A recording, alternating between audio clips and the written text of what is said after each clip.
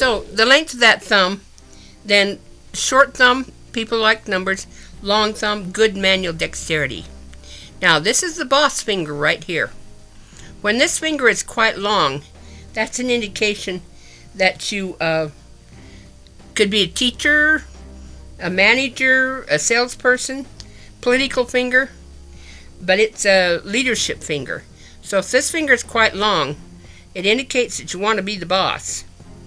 See, yours is just slightly long right here. That's just slightly above that line here.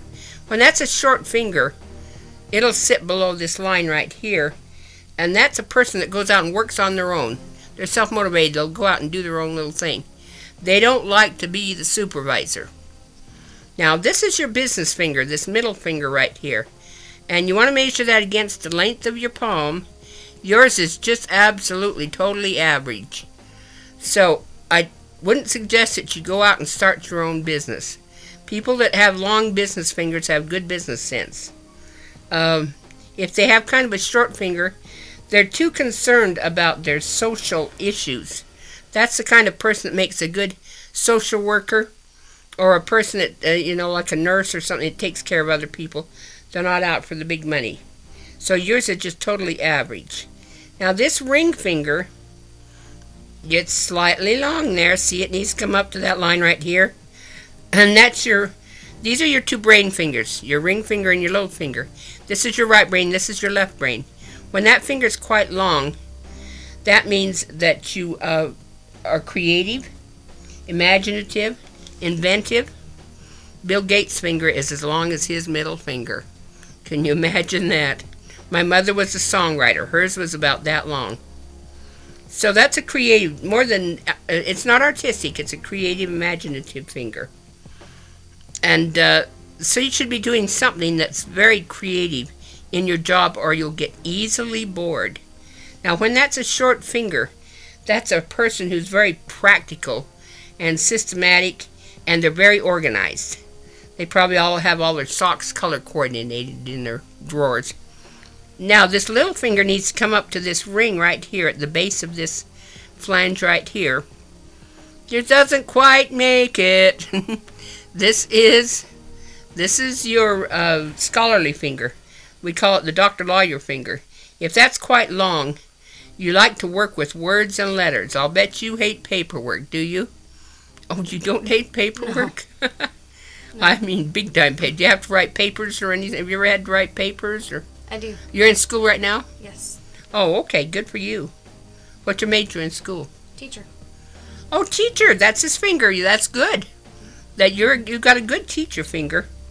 Well, all right. This is your words and letters finger. I hope you're not going to be an English teacher.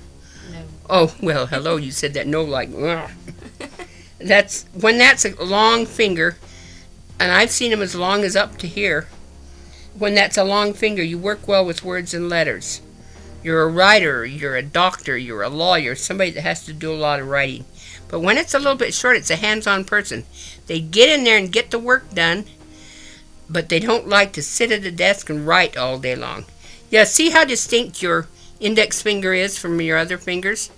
That's a really good finger, and that's your teaching finger. That's excellent. Now, we're going to move down here to this little section between the heart line, the end of the heart line, and the ring around the little finger. This is your marriage lines and your children lines.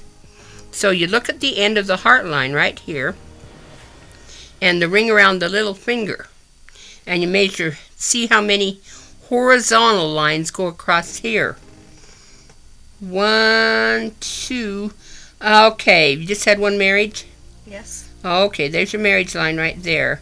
You must have had a little boyfriend way early in your life. Did you have a little boyfriend you were kind of close to? Yeah. Early? 12. Oh, you're 12? Because it sits very low. This is the timeline. Here's the early part of your life. Here's the later part of your life up here at the top of this. So, did you get married then when you were about 21, 22, 23, even later than that? I was 25. Okay, because that's quite a late marriage in that section right there. Here's your children. The children go vertical across this this section right here. They generally start They generally start kind of on right here, a little bit on this side of the middle of the little finger. Here's one good child line. That one child, you've got one child now, is that correct? Mhm. Okay, that one child is kind of smart. Comes clear up here and touches up on that. And you may have a miscarriage. You've got a little tiny uh, short line right here. Then you've got another child in here. And you may have a third child. Okay. so you may have three children. But you've got quite a little space in there in between number one and number two child. Uh, that's the heart line, but let me do this line first. This line is the money line. And it starts down here. No, it starts right here at the end of the uh, headline. Starts here and it moves right up here towards the little finger. When it gets up here, sometimes it splits. You've got a really good money line. It means you're not ever without money. See how it comes along, it never breaks? And then when you get up here, all these little extra lines, that's extra income when you're older in your older age. So good money line and then one, two, three, four, about four sources of income when you retire. Now let's look at your uh, your lines here in your hand. Remember this is the heart line, this is the head and the spine line, and then this is the lifeline. This is the fate line then. And in this hand, in the right hand, remember this hand is your present and your future. So that fate line, every time that breaks and moves over, it's a change in your career. And again, you've got a timeline on this fate line. When you hit this line, this head and spine line, right here, that's about age 40. Here's about age 70. And the ring around the little finger here, the not the little finger, but the middle finger, the ring around the middle finger is about age 80. And that always goes to the middle finger. If it doesn't go to the middle finger, it's a different line. It's not your fate line. So, oh, by the way, look at these little X's here in here. When you get those little X's underneath this uh, finger, it generally indicates that uh, it intensifies that uh, creative part.